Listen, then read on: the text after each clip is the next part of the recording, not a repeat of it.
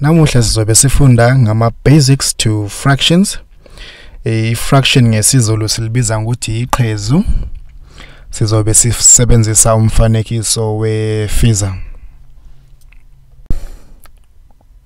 Njengoba sisebenzisa umfanekiso wamafiza, sisebenzisa ama fractions, siyabona kulesithombe esiphambi kwamehlo akho ukuthi unamafiza ayisithupha kwemibala eyahlukene. Ifiza yokuqala eyesibili eyesithathu eyesine eyesihlanu nesithupha. Sinamafiza ayisithupha kwemibala eyahlukene.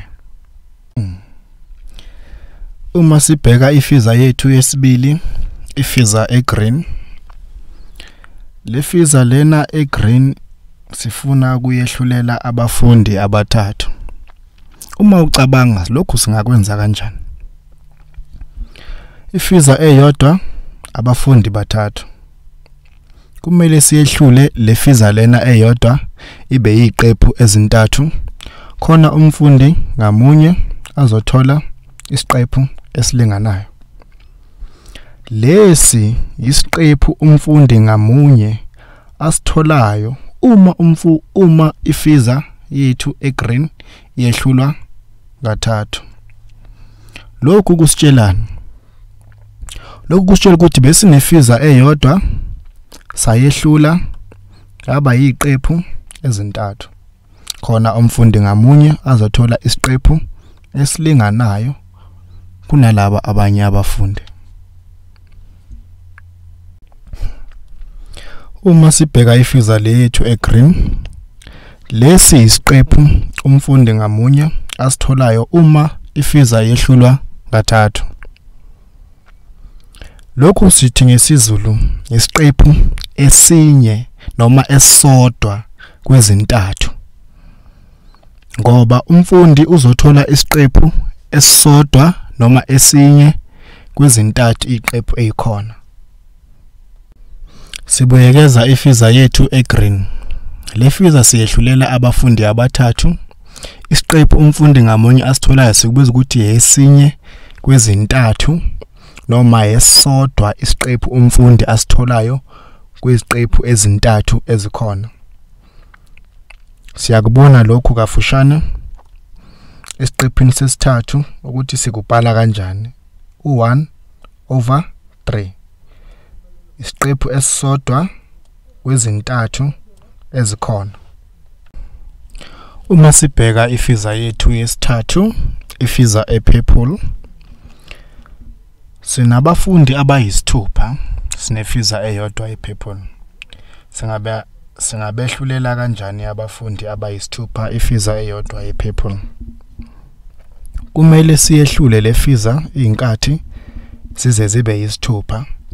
Khona umfundi ngamunye azothola isiqephu esisodwa sefiza. Lesi isiqephu umfundi azosithola kweziyisithupha iziqephu zefiza lokhu sichazela ukuthi umfundi ngamunye uzothola isithupha isiqephu sefiza esisodwa kweziyisithupha. Lesi siqephu umfundi asitholayo uma ifiza yehlulwa izinkathi eziyisithupha sikubiza ngokuthi isiqephu esinye kweziyisithupha noma isiqephu esisodwa kweziyisithupha.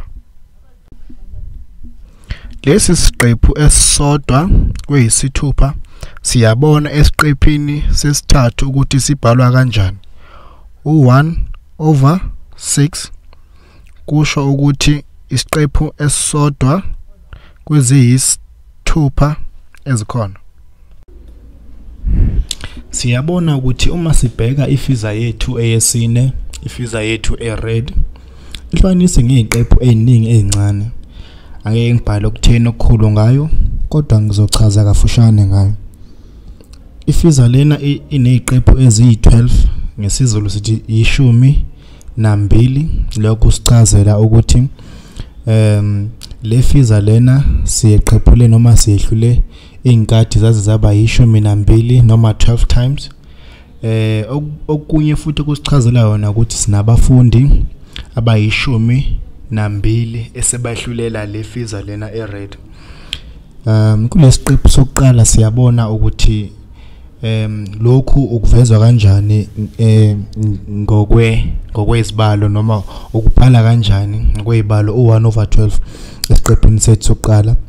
Um lokhu sikubiza ngokuthi esinye isiqephu kweziqephu eziyi12 noma eziyishumi nambili ezikhona umfundi ngamunye asitholayo.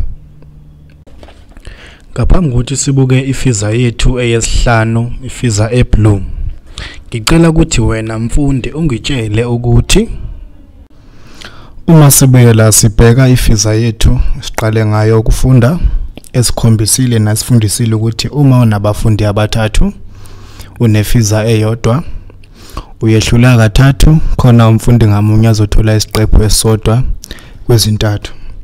Uma sibheka ifraction yethu noma iqhezu u1 over 3 okula phezulu ilokhu okuthathayo okula ngezansi ilokhu onakho.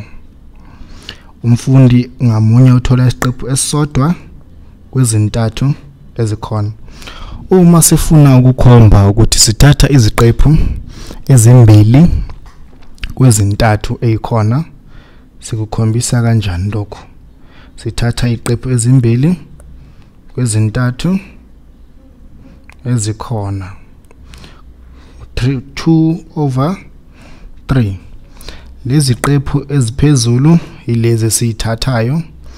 Ezintathu ezingezansi ilezi ezikhona lokhu sikubiza ukuthi 2 thirds ngesizulu sikubiza ukuthi iqephu ezimbili kwezintathu ezikhona.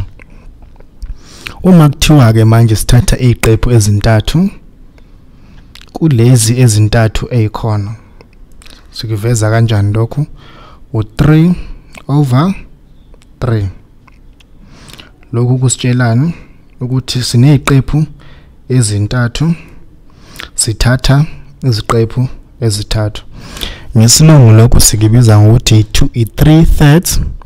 Ngesizulu sikubiza ukuthi iziqephu ezithathu kwezintathu ezikhona.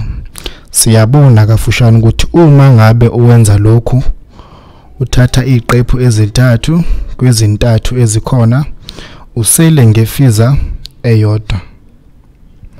Ngoba uma udivide u3 ngo3 uthola u1 u1 uchaza ukuthi unefiza eyodwa. Uma uthatha iziqephu ezithathu zefiza udivide ngeziqephu ezithathu.